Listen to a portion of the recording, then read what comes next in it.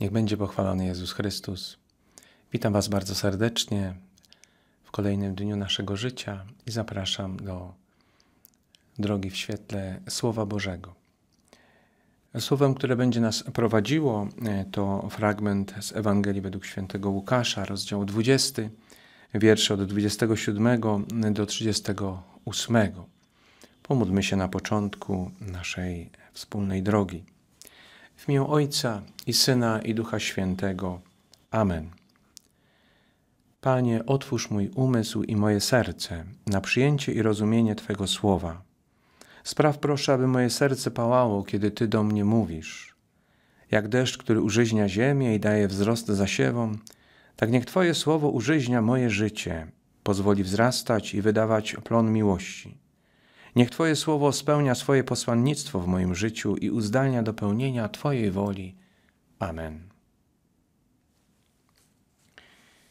Posłuchajmy słów e, z Ewangelii według świętego mm, Łukasza.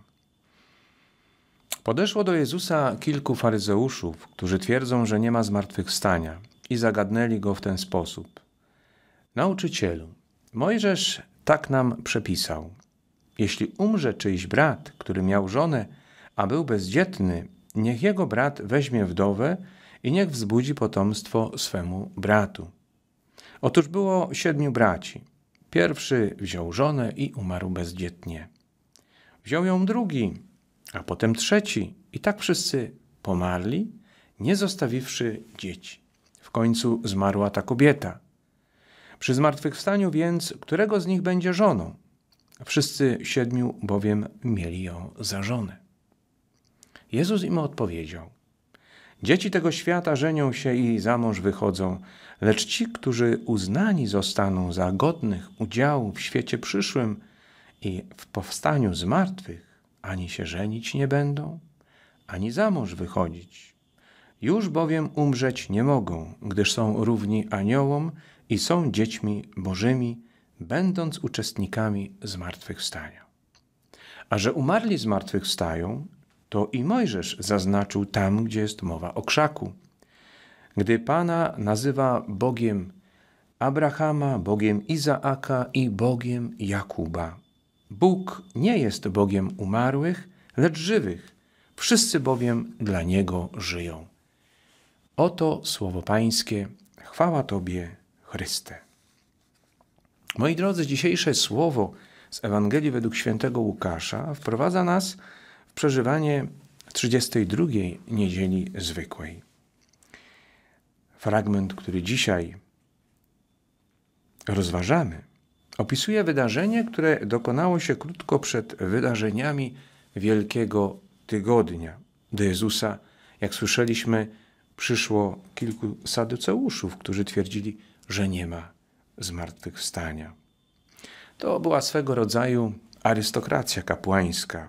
Za takich się uważali.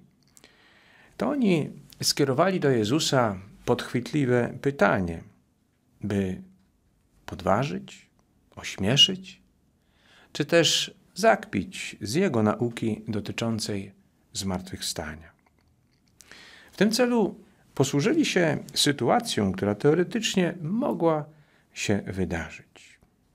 Otóż, jak słyszeliśmy, prawo nakazywało, by brat męża, który umarł, nie zostawiając potomstwa, przyjął wdowę i wzbudził potomstwo. Prawo to nosiło nazwę prawa lewiratu. E, słowo lewirat e, pochodzi od słowa lewir, to znaczy brat męża. Opierając się na tym, uznali wiarę w zmartwychwstanie za śmieszną, bo tak sądzili, w niebie dochodziłoby do sprzeczki, czyją jest żoną. Jezus jednak potraktował ich i ich pytanie bardzo poważnie i zaczął prowadzić ich słowem, które staje się dla nich i dla nas ważnym światłem. Jezus e, tłumaczy że zmartwychwstali wchodzą po śmierci w przestrzeń różniącą się od ziemskiej. W tej nowej przestrzeni nie będzie zabiegania już o przekazywanie życia nowym pokoleniom, ale będzie ono udziałem tych, którzy zostaną uznani za godnych w życiu przyszłym. A więc, jak słyszymy, że nie wszyscy dostąpią tej godności. A życie tych, którzy zostaną e, godnymi w życiu przyszłym, będzie podobne do życia aniołów. Ponadto Jezus swoich rozmówców prowadzi do tej prawdy słowami tekstu natchnionego z Księgi Wejścia, z rozdziału trzeciego, e, wersetu szóstego. Mając na uwadze, że owi e, saduceusze za święty Boży tekst uznawali słowa pięcioksięgu, właśnie prowadzi ich tym słowem. Cytując słowa z Księgi Wyjścia, pokazuje, że śmierć nie oznacza końca życia. Kiedy Bóg mówi: Ja jestem Bogiem Abrahama, Bogiem Izaaka i Bogiem Jakuba, uświadamia im i każdemu z nas, że relacja Boga z tymi patriarchami jest wieczna, a zarazem osobista. To pokazuje, że umarli żyją i że pewnego dnia będą mieli udział w zmartwychwstaniu, które zapoczątkuje Jezus Chrystus. Tym samym Jezus całym swoim autorytetem potwierdził starotestamentalną wiarę w zmartwychwstanie. Po Jego męce i śmierci i zmartwychwstaniu apostołowie z mocą będą głosić i wiarą, że jeśli umarli nie zmartwychwstają, to i Chrystus nie zmartwychwstał. A jeżeli Chrystus nie zmartwychwstał, daremna jest nasza wiara. Dzięki zmartwychwstaniu Jezusa wierzymy, że życie tu na ziemi zmienia się, ale nie kończy.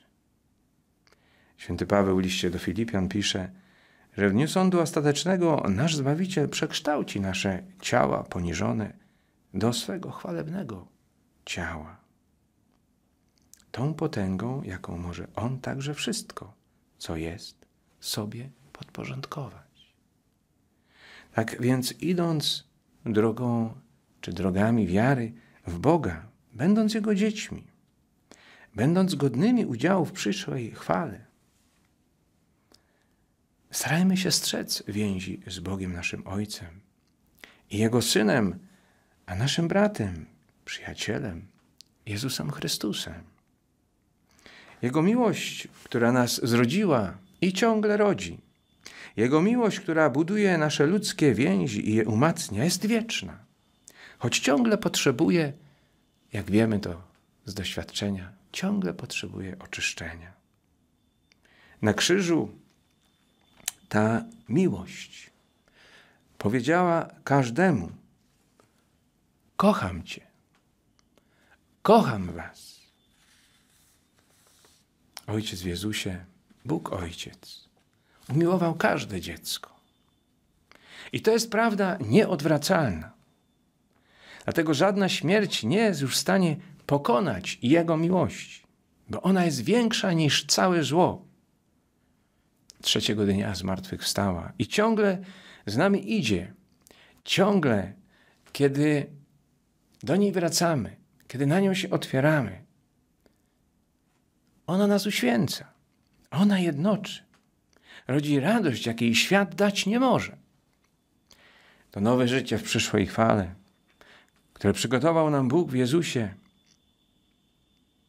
Kiedy idziemy w świetle Jego słowa, kiedy otwieramy się na to nowe życie w tajemnicy sakramentów, staje się to nowe życie naszym udziałem już teraz. Już teraz, choć jeszcze jesteśmy w drodze. On w tych słowach, Jezus, objawia nam przepiękną perspektywę. Żyjmy, żyjmy nią, trwając w Nim. A to, co czeka nas po śmierci, czy też w dniu sądu ostatecznego, niech dla każdego i każdej z nas będzie pięknym zwieńczeniem naszego dobrego życia ziemskiego. Prośmy, moi kochani, abyśmy tej łaski nie zmarnowali.